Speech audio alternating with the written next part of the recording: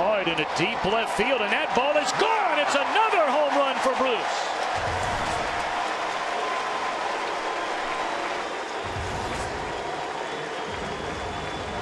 Jay Bruce now in his last 18 games and one at bat has hit eight home runs and Chris is batting almost 400. I'll tell you what and the damage that he is doing against left-handers Tom is astounding because you could used to just throw a left-hander out on the mound and you could get Jay Bruce out. Randy Wolf trying to go away and that ball catches the outer third of the plate and that is a sweet swing by Jay Bruce going oppage in the first inning to put the Reds up one nothing.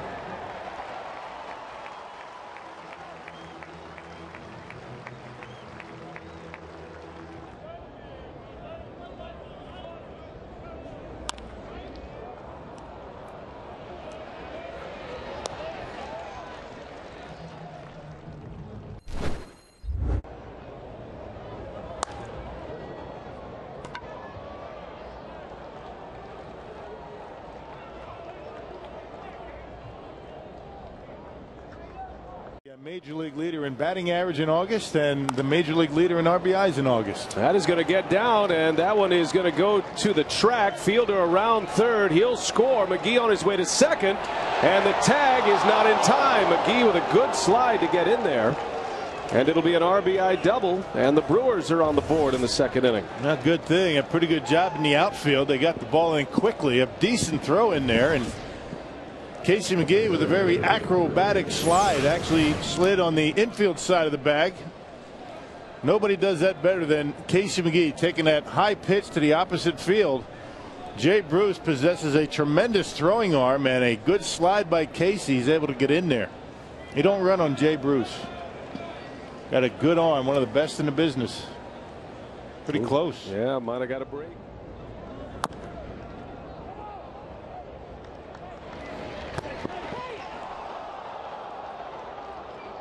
about this Milwaukee team. They have had their problems in the pitching department, but they can't hit. And this is a double play line drive back to Bailey. How about that? You get the double play, Chris, but nobody scored. Now that's even better yet right there. Nice reaction time by Homer Bailey. He finishes in a position good enough that he can see that ball coming, a kind of a change-up line drive coming back at him, and he was heads up.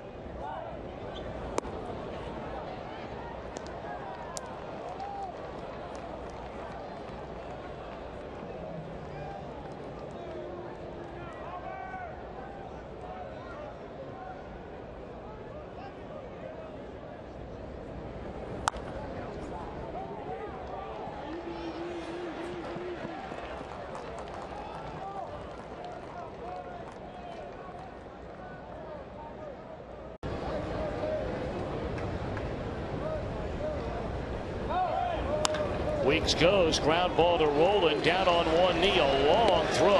What a play by Scotty Rolen but the run scores from third to give Milwaukee a two to one lead and Weeks advances on to second base.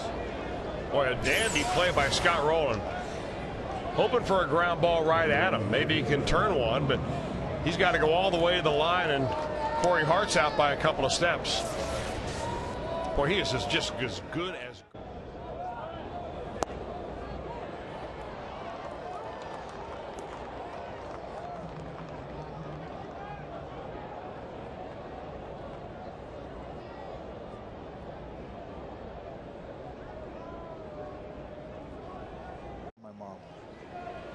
Misses on coming through as Braun delivers a base hit. So Ryan Braun singles to center field. Weak scores, and the Brewers have put two on the board here in the third inning. It's now three to one Milwaukee. All of a sudden, the Brewers not relying on the home run ball to score their runs. You know, coming into this series, the Cincinnati Reds, one of the best teams in baseball, with runners in scoring position, and particularly runners in scoring position with two outs. Ryan Braun right now, just seeing it, must look like a softball up there for him. Yeah, you know, his approach lately has been up the middle the other way, and that's one of those.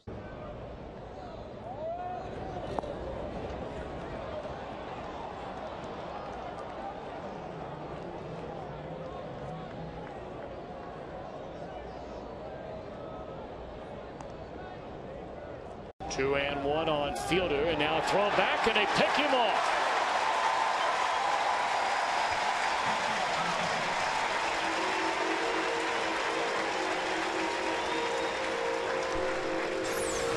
Well, if Homer Bailey could be as quick to home as he is to second base, he'd have no problem with stolen bases. He is out. And this happens exactly right after a fake to second base.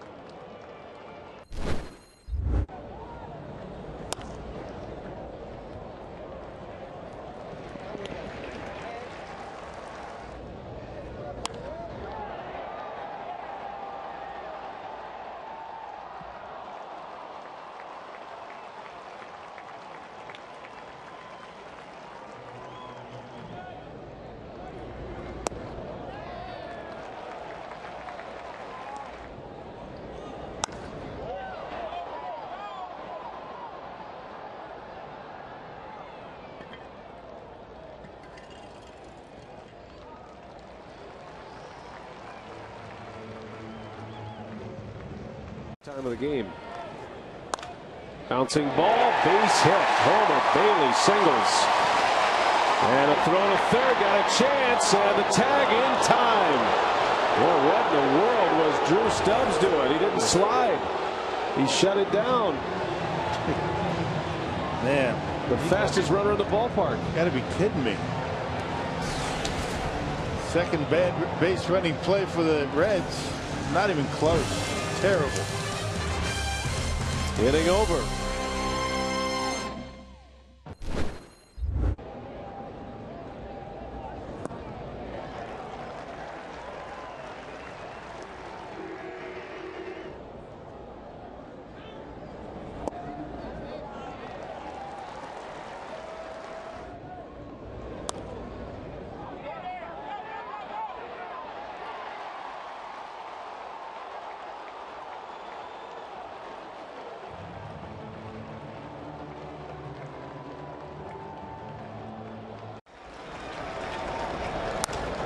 In the air down the left field line towards the corner, and that is a fair ball, and it bounces into the stands. So that'll be a game tying double by Votto, scoring Bruce from second. They'll throw the brakes on Valaika at third base, and it's a 3-3 game. The beat goes on for Votto. I'll tell you what, how good is Joey Votto? He was determined this time up not to get out ahead of that ball. He hit one off the end of the bat, a breaking ball last time, and you can see how he just stayed back and stayed back, muscled that ball down the left field line.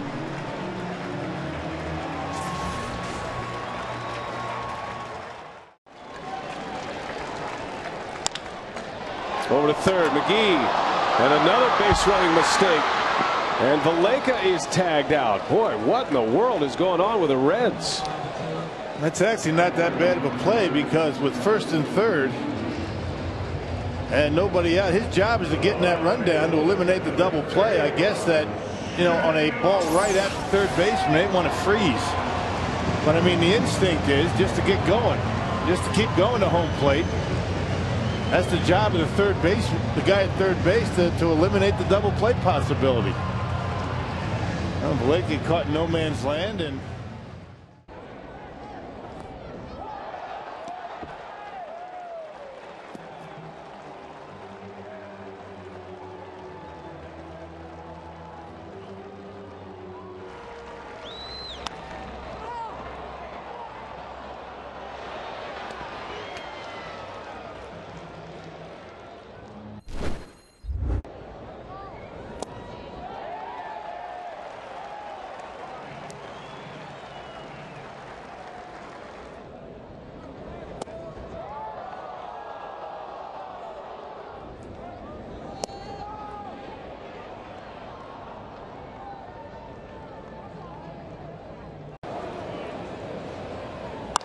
And that one's hit hard deep left center field. That is going to get down. It's going to go to the wall. Lorenzo Cain will score. Escobar thinking about three, and he's on his way. The throw to third. Escobar is safe. Talk about speed. How about Escobar? A three bagger here in the sixth inning. Now that might have been a mistake going to third base too with two outs. You're ready in scoring position at second base. You never want to make the last out at third. And that was a little bit too close for comfort. But how about the walk? It should have been strike three. It looked like anyway. And you know the Brewers got a break on the uh, ball four call, the stolen base, and then the triple by Escobar, and the Brewers regain their lead.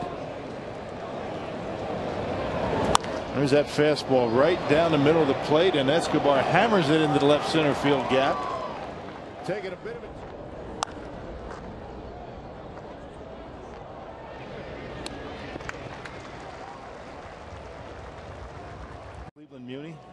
I forget who it was. I want to say Jeffrey Leonard. That was hit hard. Deep left center field. Cain, and he leaps and he makes the catch. Lorenzo Cain. One of the best catches you'll ever see as he crashes into the wall.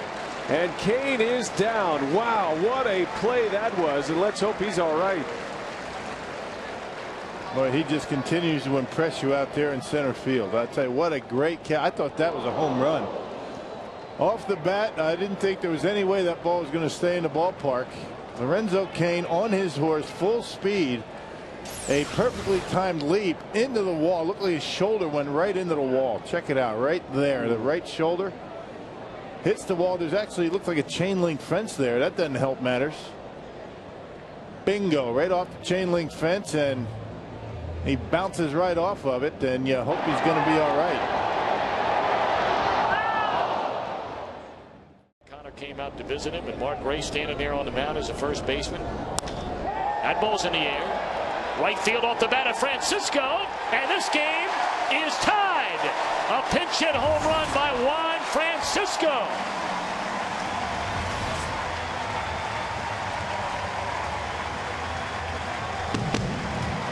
Well, what a bright future, Chris, for this young man. When the day comes, he gets regular playing time, brother. I'll tell you, he generates some serious power, does he not? I mean, you talk about bat speed, stand near the batting cage during batting practice, and it sounds like somebody's stacking timber. And the only question about this one was, it was it going to be high enough? A laser beam of a home run.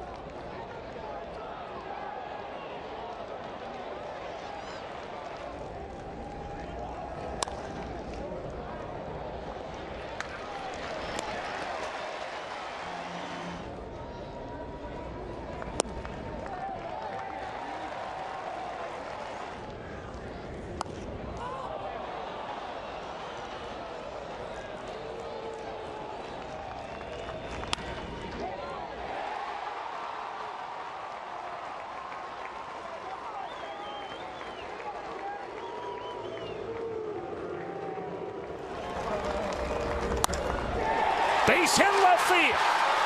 Braun Fields throw to the plate. Reds win six games ahead in the National League Central Division.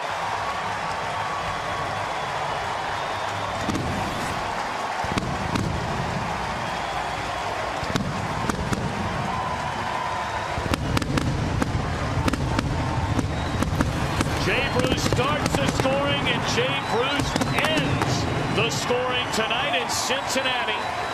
A 5-4 10 inning win and Chris it is a six game lead now over St. Louis. Well he started the scoring in the first inning with an opposite field home run off of Randy Wolf and he ends it right here with an opposite field single in left field. Brandon Phillips on second base. Jay Bruce's sweet stroke continues as he lines his ball by the shortstop into left field. Ryan Braun can't throw out Brandon Phillips, and Brandon Phillips comes around with the winning run. And somehow, some way, they find a way to do it, and they have stretched their lead in the Central Division to six ball games. Let's go downstairs with Jay Bruce Bruce's Jeff Piecoro.